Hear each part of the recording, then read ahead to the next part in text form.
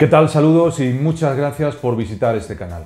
En esta edición seguimos hablando de tópicos literarios, concretamente del carpe diem. La expresión latina carpe diem significa literalmente coge el día, en el sentido de aprovecha el día, aprovecha el momento que vives, no lo desperdicies. Y aparece expresado en la Oda 11 del poeta latino Horacio, poema dedicado a Leucónoe, la mujer a la que amaba, y cuyos últimos versos dicen en latín Sapias vina liques et spatio brevi espen longan reseques, dun loquimor fugerit inguida aetas, carpe diem, quam minimum credula postero. Que significa aproximadamente esto. Sé sabia, bebe buen vino y reduce las largas esperanzas al espacio breve de la existencia. Mientras hablamos, el tiempo huye con la palabra. Aprovecha este día y no te fíes del día venidero.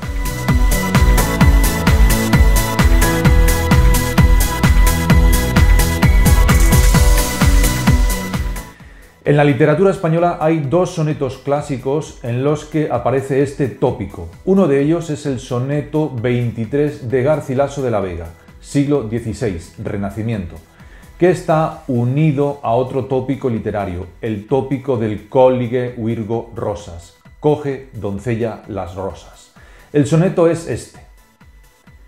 En tanto que de rosa y azucena se muestra la color en vuestro gesto, y que vuestro mirar ardiente, honesto, enciende al corazón y lo refrena, y en tanto que el cabello que en la vena del oro se escogió con vuelo presto por el hermoso cuello blanco, enhiesto, el viento mueve, esparce y desordena, coged de vuestra alegre primavera el dulce fruto, antes que el tiempo airado cubra de nieve la hermosa cumbre.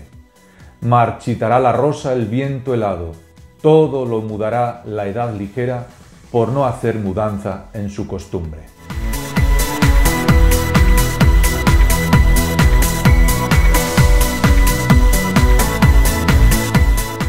¿Qué nos quiere transmitir este texto de Garcilaso? Formula la idea de que mientras seamos jóvenes debemos aprovechar ese momento, esos años. Mientras nuestro cuerpo sea espléndido, debemos aprovechar su frescura y fortaleza, puesto que después llegará la vejez y todo eso desaparecerá, porque el tiempo corre más deprisa de lo que parece.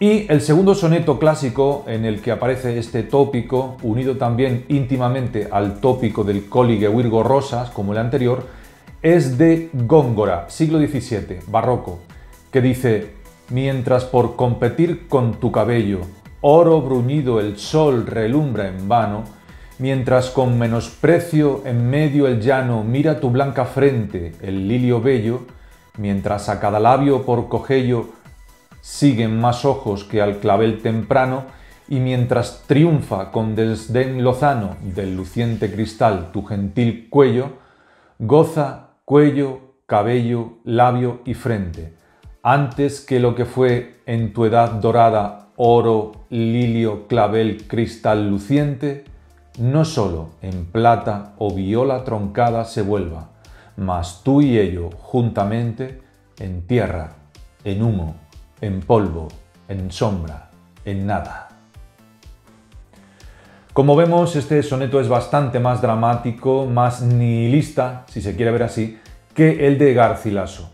El mensaje es el mismo. Gocemos de la edad joven, del cuerpo joven, porque después todo eso se extinguirá.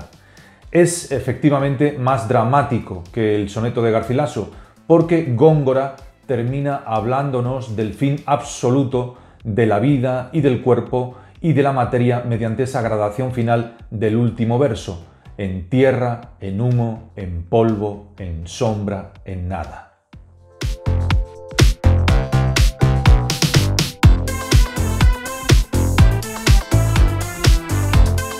Y esto es todo. En mi página web se puede acceder a videoexposiciones y videotutoriales más específicos sobre diversos aspectos y asuntos relacionados con la lengua y la literatura, de eso, de bachillerato y de ciclos formativos. Muchas gracias y si el universo y el COVID-19 lo permiten, nos vemos en una próxima cita.